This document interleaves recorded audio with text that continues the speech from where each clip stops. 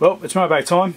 Let's see what I've got this time. Things you can buy maybe, but then these are mostly from RS, so maybe not. Right, so we can get into this thing. Yes, I it. Now, invoice. Go on. You want to see that? Oh look, there's some capacitors. What do we get? These are 330 microfarad 100 volt and 330 microfarad 35 volt. I might have bought those for a particular project or maybe I was just restocking. Yeah, probably restocking, I'm not sure. I might have needed it for the HP, I can't remember. Hmm. So this one's got reed relays in it. It's single pole double throw relays. And I purchased two different versions of the same relay. I think one's got internal shield, one doesn't, or something like that. Now these are for a repair I'm doing and also for stock. I actually going to have to revisit this and figure out exactly which parts I need to use because I've got so many parts. So there's those. Um, and this will be the same footprint on these ones as well, same thing. I actually thought I had the right ones already but I didn't. I Ones I had were the same footprint and the same package style but the actual functionality of the pinout was different. So many different versions, it's incredible. I bought a selection of different ones and I'll just have to re revisit this and figure out which one I need to use for the HP 8165A which I'm currently repairing. It's got at least one bad reed relay in it and that needs replacing. I just don't remember which one it was. I'll have to relook at the specs and figure out which one it was I needed. It has to be a shielded version. There's a shielded and unshielded version and the one that's in there now is a shielded version so I need to make sure I use the same one. Another thing from RS, imagine that. Hmm, look, just right through that. Hmm. That was actually something in it. I was a bit worried there for a second. that fell out. So these are some little bulbs. I think these were 6 volt bulbs or 5, five or 6 volt bulbs. I can't remember which ones they were. 5 volt 60 milliamp bulbs. So these are for the HP as well. So that's for the HP because it's got at least two blown bulbs I know of on that front panel.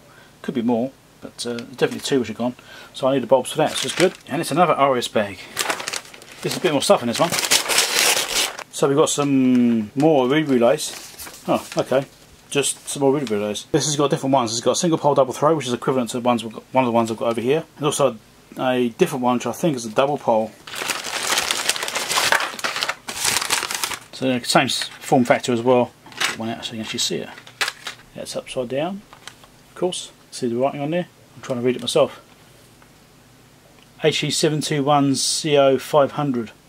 So the 500 part denotes 5 volts, but the 00 part, or in this case the 530 part on these ones, denotes options. So options could be the pinout function, or like the actual shielding inside or not.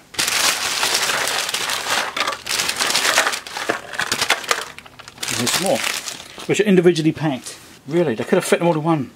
Anyway, these are different ones. These are V23100-4005-A011. So I don't actually remember what the functionality of these ones were.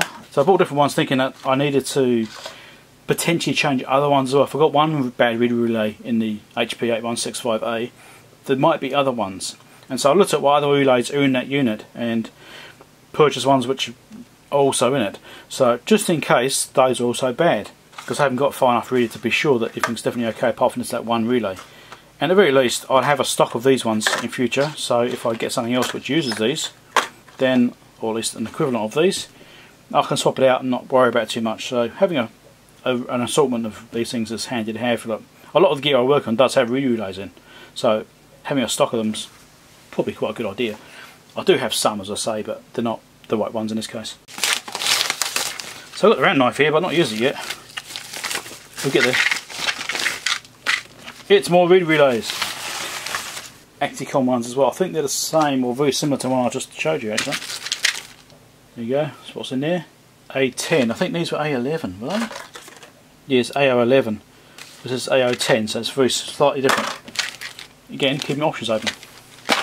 Here's something which isn't from RS. Yay! Right. Let's find out what this is. This is interesting packaging. What on earth is it? Oh, I'm a nice not cutting it. Going to see where the joint is in this thing. Oh, now I know what it is.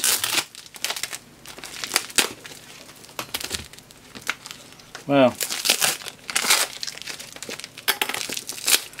because you want to go hacking into it like this. Oh, you buggers! Look at that.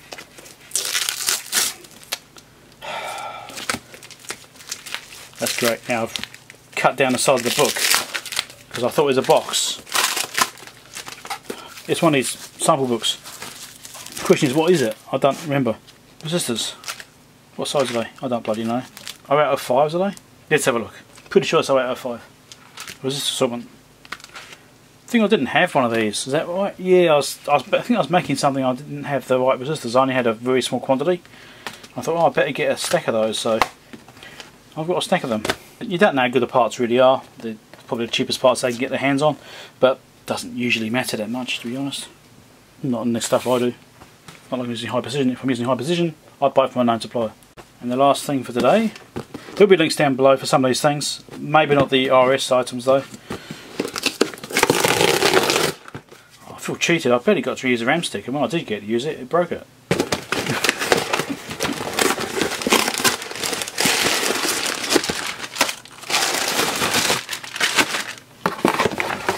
What's in here? Ooh, slightly different.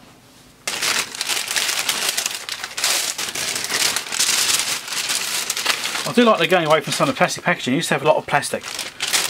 And uh, they started using paper more, which is good. I quite like that. I did give them feedback about that when I did the survey and maybe they actually listened. This is a LTC 1052CN8, which is an 8 pin op amp couple of those. Now I actually wanted to find the 14 pin versions of these as well. I'm not sure these are the right part for what I actually need. Now the Solartron 7061 multimeter which I picked up recently which is supposed to be calibrated um, is not accurate. so, um, so I'm not too worried about playing with it a little bit. It's still sealed, I only looked inside it. Still got the original seals on it from the place I bought it from, who supposedly calibrated it. And yes, anyway, so one of the things we can do on it is try and improve the noise by replacing an op amp on there. I'm not sure if it's an 8 pin footprint or a 14 pin footprint. Now the 8 pin is the one I could get. The 14 pin has got some extra functions on it because it's like a chopper op amp. I'm hoping these are the right ones but they might not be. The 14 pin one seems to be obsolete. I can't seem to source it. I haven't looked that hard yet. But I'm looking at changing the op amp in that Solartron multimeter in order to try and improve the noise because these are proven to give slightly better noise, or I don't know, it's an 8 pin or 14 pin version, I don't know, but it's, it's on the EEVblog forum anyway, it's mentioned on there specifically for this multimeter, saying they, they did this and actually uh, showed some graphing proving the noise got better. That's a win, as it's not calibrated anyway, sorry, as it's calibrated but not calibrated, then I'm not too worried about making it change its actual readings a little bit because I don't think it's right anyway. I'm hoping I can just pop one of these ones in, but these might not be the right footprint.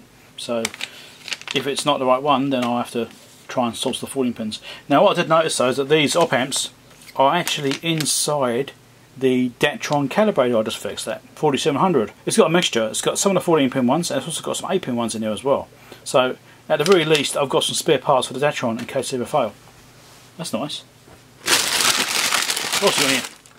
You've got an individually boxed capacitor. What's this one? 20,000 microfarad 50 volt. I think I needed this for something. I think there was a... What did I need that value for? I think it was for the Racal-Dana frequency counter. The 2101. I think that was one of the power supply caps I needed to replace. I'm fairly sure is that.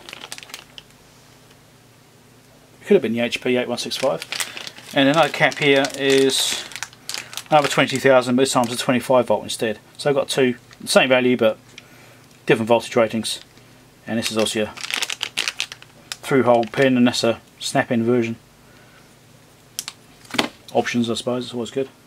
Right. That's that stuff. Make sure to subscribe click the bell icon with your stuff and I'll catch you next one. Bye